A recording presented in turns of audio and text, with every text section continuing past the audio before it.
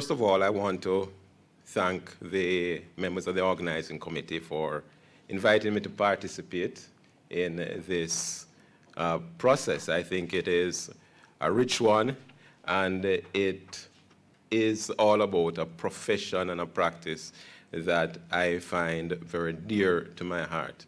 I myself took a very long route home and I call home human resource development and by extension management. Uh, so it is something that is pretty dear to my heart and one that I speak with a lot of passion about. I will bring uh, an experiential view of uh, the whole matter of philosophies of HRD.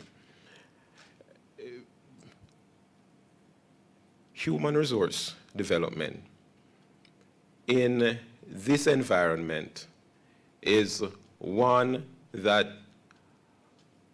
must be focused on delivering value. And by delivering value, I am not thinking only or defining that value to uh, a, a profit, a bottom line for a company, but it's about how we go about harnessing the skills, competence, the attitudes, all the attributes that one brings, your, your, your, your learning, your, in, your socialization, how do we capture your very essence, develop that, mold that into a passion where you are delivering your very best. And in delivering your very best in a cohesive way, in a forum that is in a forum that has common a common culture. How do we develop excellence through that?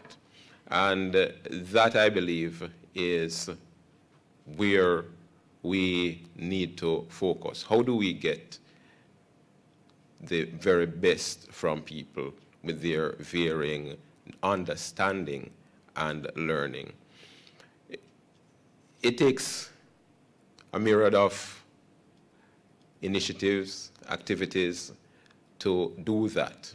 But the starting place must be to understand that each individual comes with a set of uh, values, comes with a set of competence that as leaders we need to harness. And it is our task at leadership to do so.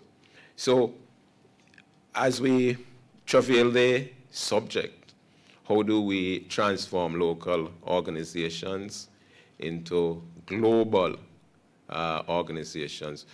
I think where I would like to look at it, some of the nuances within the Jamaica organizations and how we can really uh, focus on changing, building, uh, revamping thoughts and actions in order to develop and build those global organizations. It will impact the philosophy of HR, but more than anything else, it will create value. And value is where we as a people need to be to be able to operate and take our place fully on the world stage. So I look forward to speaking about how we actually can do some of those things.